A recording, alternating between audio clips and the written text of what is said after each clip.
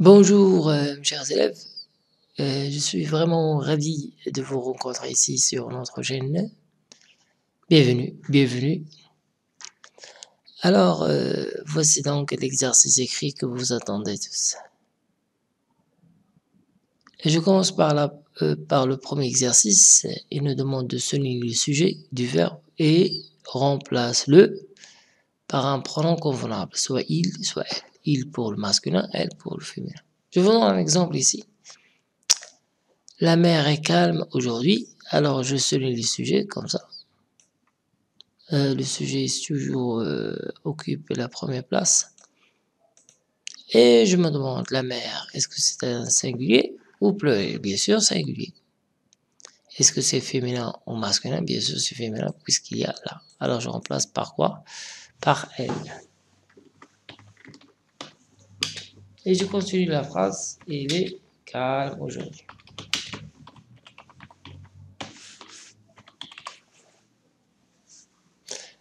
Elle est calme aujourd'hui.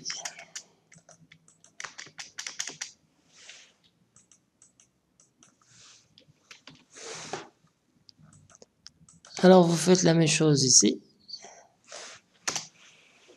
Alors ici vous faites la même chose. Ce cultivateur ce cultivateur s'occupe de la terre, où est, euh, le, sujet du verbe, et comment euh, tu peux le remplacer?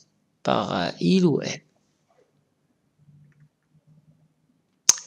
Deuxième exercice, partie de conjugaison. Je conjugue au présent le verbe entre parenthèses. Voici être, avoir, et aller, et faire. Alors, je choisis par exemple la voiture est sur l'autoroute. On dit est.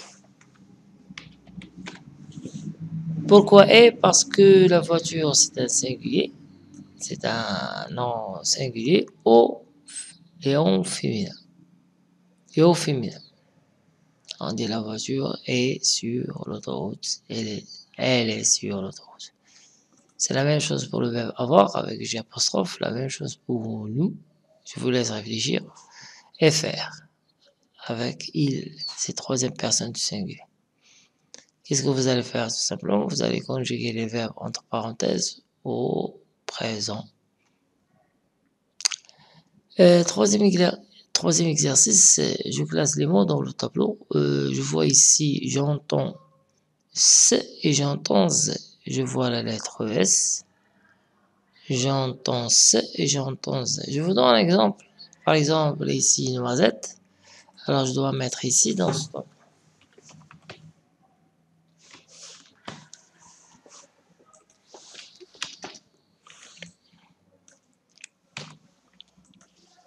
Noisette. Par exemple, ici, c'est cela. Et la même chose pour les autres. C'est la même chose pour les autres. Alors, euh, où je peux remplacer les autres mots? J'entends C ou j'entends Z? Entour, c'est qui est juste. C'est la partie de vocabulaire. Retard. C'est avant ou après poubelle? Alors je vois ici R.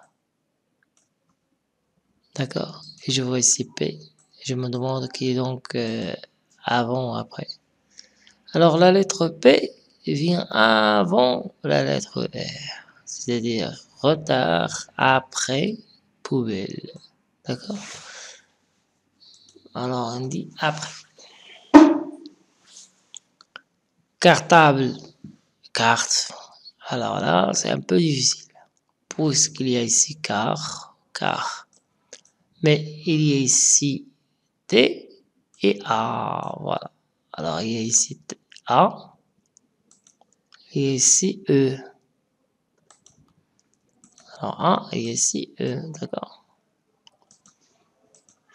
Alors ici, carte, carte, c'est la même chose. Carte, carte, mais il y a ici A et B. Alors, cartable vient avant, vient avant carte. N'oubliez pas cela, s'il vous plaît. Alors, euh, je viens de vous expliquer clairement les questions des exercices écrits.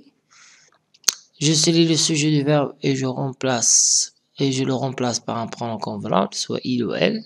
On a ici exemple de elle, féminin, puisque la mère est féminin. Alors je cherche ce cultivateur. Est-ce que c'est masculin ou féminin? Je peux remplacer par il ou elle.